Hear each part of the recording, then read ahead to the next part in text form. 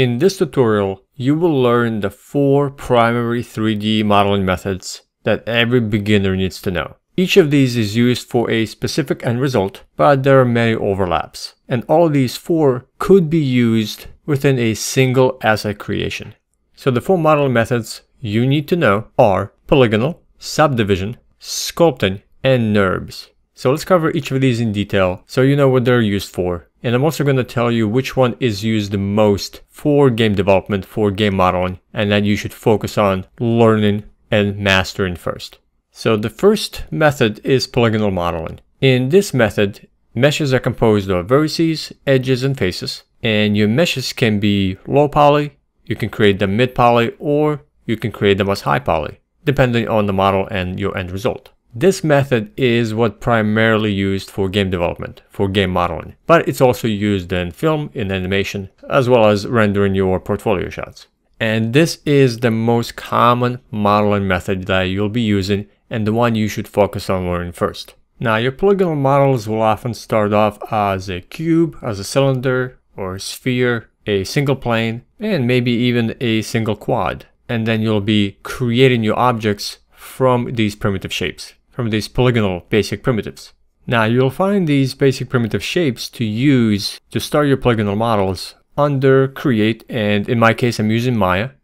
So you would go to create and here you have your polygon primitives. And here are all the basic polygon primitives that you would use to create your objects with or start your models from. So if I, let's say I create a cube, make it larger, then if you right click hold on an object, you're able to switch to faces, vertices, and edges and begin modeling from this basic primitive shape. And then in the end, you will end up with a model, a 3D object, that will consist of triangles and quads. So here is an example of a polygonal based modeling of a, a retro TV set. So if you are creating game assets, props, environments, characters, polygonal modeling is your base creation of a model. This is what you'll be using most of the time. And these are the meshes that you'll be importing into a game engine to use. The second model method that you'll often come across is subdivision modeling. Now, subdivision modeling is an offset of polygonal modeling as it uses polygonal modeling as its base to then create high poly, high quality meshes. But you begin from polygonal models, from polygonal shapes, just like you do for polygonal modeling. So you use the same cubes, cylinders, and spheres in order to create subdivided models. But the end result of these subdivided models is different. Subdivision modeling is primarily used in film, in animation, in product design, rendering, and high poly creation. And these meshes are not often used in games directly, but can be used to create high poly meshes in order for you to bake normal maps and get that detail from the high poly down to a lower poly through a normal map texture. But you usually do not take these subdivided models and export them from Maya or from other 3D modeling packages and import them directly into a game engine because they're way too higher triangle count than what you would need to use in game. Now you could bring these subdivided models into a game engine at a higher poly count, especially if you bring them into UE5 using the Nanite technology, but primarily you don't do this type of workflow. Uh, subdivision modeling is kind of used for a different part of the process and for different end result. Now, when you use subdivision modeling, meshes have to be smoothed or subdivided in Maya or whatever modeling package you use. So that means in Maya, you work with a polygonal mesh and then you get to preview your mesh and see how it would look subdivided by using three keys. Three is your smooth mesh preview and hotkey 2 gives you a low poly cage and a high subdivided preview mesh. So back in Maya, let me go ahead and create a cube, make it larger.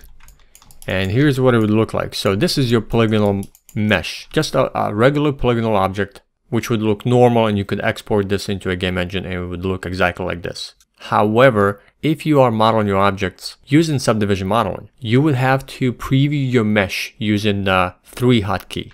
But whenever you do this, you can see that your mesh collapses. So your mesh has been smoothed out, but because it's modeled improperly at the moment, or we haven't done any modeling to it, subdivision mode actually will collapse your mesh because subdivision modeling requires a different mindset to approach this type of modeling method. So if I hit one key, I go back to my polygonal mesh and 3 gives me the smooth mesh preview. And the 2 hotkey gives me combination of both the low poly cage, the polygonal mode, and the smooth mesh preview. So I'm gonna hit 1 to go back to my polygonal mode. So if you are creating new meshes using subdivision modeling, you have one important thing to consider, which is your meshes require holding edges to prevent your meshes from collapsing. So in the case of this cube, for it to not collapse and be properly subdivided, I would have to insert holding edges next to the corners that I want to retain and not have them collapse. So in this case, I'm just going to quickly use uh, modeling toolkit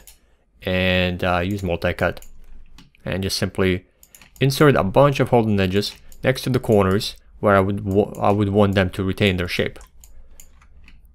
So for example, right now if I press 3, gives me a smooth mesh preview. You can see that the mesh retains most of the shape except for the areas that where I do not have a holding edge.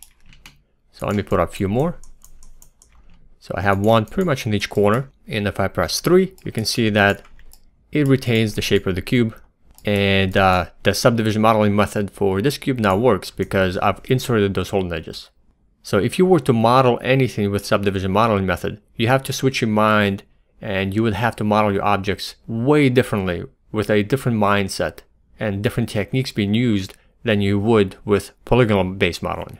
So if I were to open up that retro TV, this is a polygonal mesh. And if I select it and I press 3 to see what it would look like if this model was subdivided, I would have a lot of problems with this, especially around the areas right here at the top.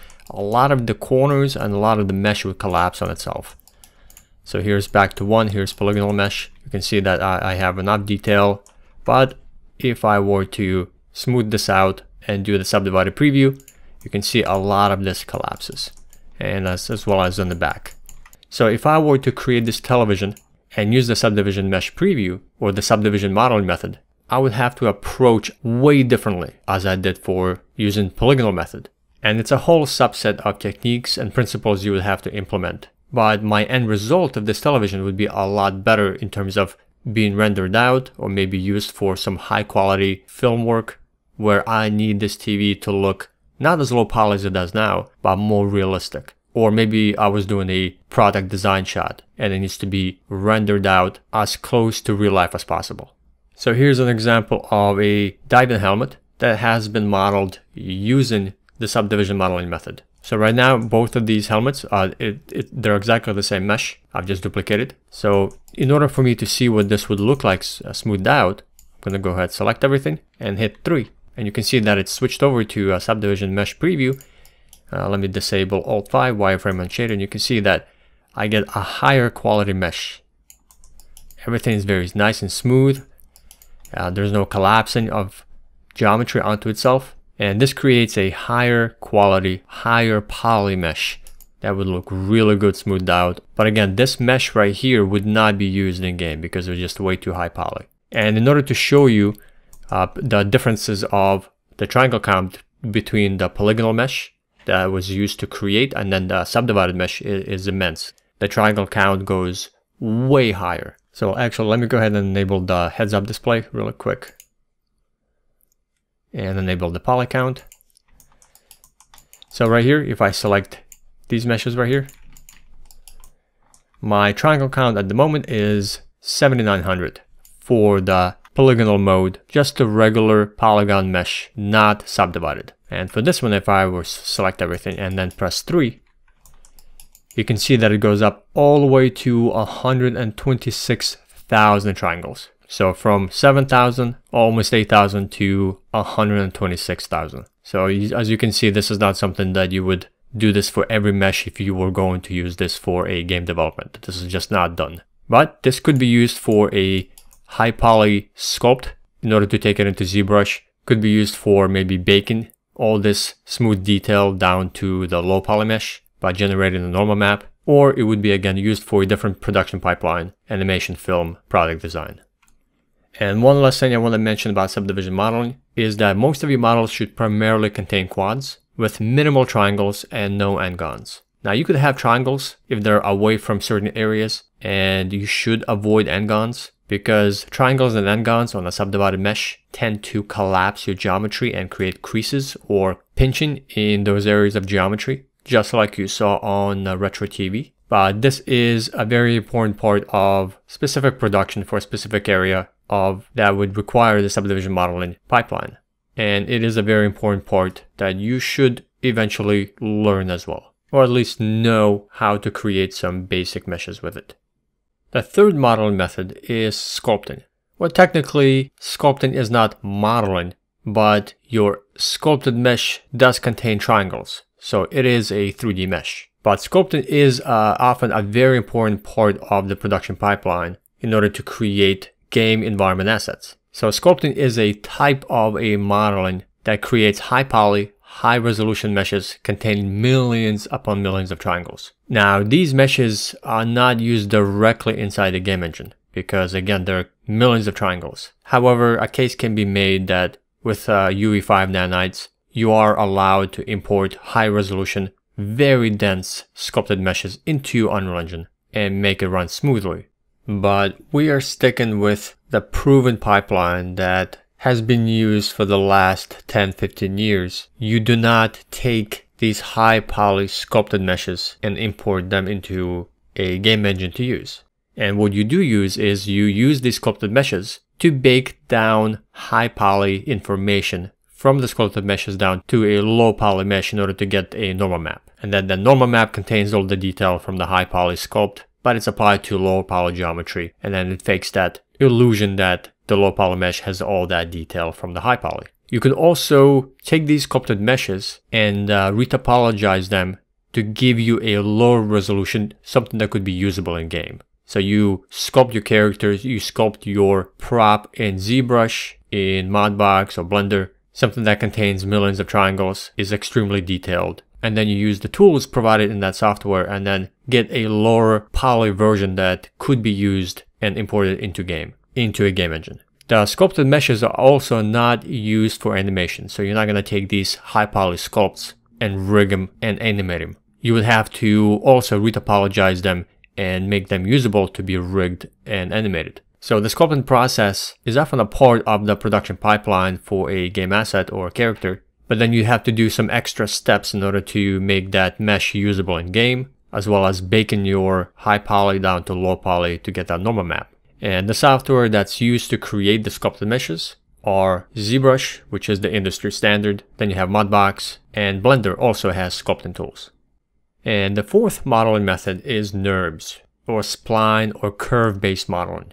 Now, these objects are very different from polygonal modeling. And these objects are composed of splines and control vertices, and not vertices, edges, or faces, like polygon or subdivision modeling. And NURBS are not used in games, and they are primarily used in engineering and industrial design. However, you can create NURBS and then convert them to polygons so they can be used in game. And it's often used as a modeling technique to create some very complex surfaces that NURBS provide and they're very good and are very known for. And then you can convert those surfaces to polygons that can be used. So for example, in Maya, if you go to create, here you have NURBS primitives. And these are the ones you would create and then you can convert them to a polygonal object later. But for example, if I, let's create a sphere. Let me make it larger. If I right click on the sphere, I get access to different components than you would for a polygonal box for a polygonal primitive. So you have your control vertices, you have isoparms, you have surface points, and they're very different in how this object works. And again, these are not polygons. So when you create and you select that shape, a NURB primitive, you see that no triangles, faces, edges, verts count shows up because NURBs do not have any of those. So you would not use NURBs to actually model your objects with in order to import them into a game engine. However, you could take this object and uh, go to modify, convert, and you have ability to take your NURB surfaces and convert them to polygons. And now you would have a polygonal object that you have now you have tri triangle count, your faces, your edges, and so on. Now, of course, the sphere is not something you would, uh, you know, you wouldn't create a NURB surface, convert it to a polygon, and then use this because you already have ability to create polygon primitives and a sphere. However, what this could be used for, uh, let me go ahead and create a couple of curves and then show you a more complex surface you can convert NURBs to polygons that would make more sense of why you would maybe use this NURB modeling as a way, as a modeling technique for your poly polygonal or subdiv subdivision modeling. I'm going to go to create curve tools and I'm just going to create an EP curve. Just draw a curve. And now I'm just going to take this curve, duplicate it. Uh, let me go ahead and modify it. So curves are part of NURBS. But what I can do is I can uh, create a surface between two curves. And this is what is known as spline-based modeling or curve-based modeling. Basically, you could create profiles using these curves, and then you can loft them, you can revolve around them, and then you can create complex geometry, complex NURB geometry between them, between different splines or curves. So I'm, let me just go ahead and maybe modify a little bit more. Create a little bit more interesting shape. And now I can take both of these curves and then go to surfaces. And you have a lot of options to take these surfaces. And uh, there's a lot of tools that you can create geometry in between these curves. But I'm just gonna do a quick loft. And loft just simply takes two more curves and creates a surface between them. And actually let me double check. Let me go to loft options. Make sure everything is reset to default. And loft. And here I just created a NURB geometry surface between those two curves and then what I can do now is take this NURB surface and then convert it to a polygon. Go modify, convert. Let's take a look at the options really quick. And I'm just going to change tessellation method. General, I want count and I want quads. And I'm just going to input a count of, let's say 500. And then hit apply.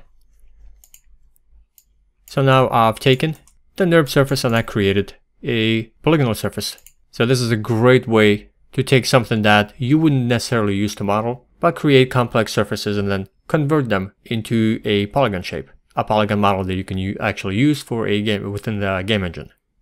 So these are the four primary 3D modeling methods you should know about. Focus on polygonal modeling first, master that, and then you can explore subdivision as well as get into sculpting. And only use NURBS as a modeling technique to get more complex shapes and then convert them to polygons.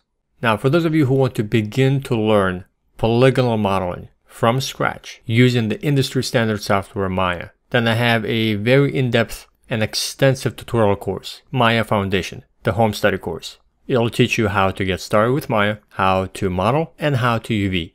You can download right now by clicking the link in the description on tiny little box that popped up, or you'll find the link within the blog post.